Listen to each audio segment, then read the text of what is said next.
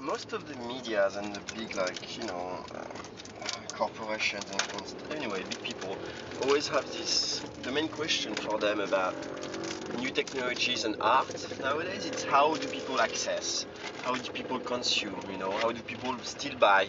Stuff like that. Well i think the real question is how do people create nowadays? And that's the really beautiful thing. And it's not really about the result anymore. It's much more about how people make. Because there is it is not anymore a society of consumers you know? It's a society of makers. Everybody makes. You make. We make. We all make. We make some stuff.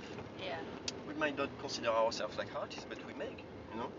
And uh, and i think that's really um, that's the that's the approach you have to to have now about how it's i think this world is completely changing and we have to push towards that direction you know and and that's why all my work is for free in a way for on because i don't believe in in selling things like that. I think this should be done for free. In in, in exchange people give me something you know? They don't give me money they give me love. This is cool. But they not they give me good vibes in a way. You know they invite me and stuff like that to people places.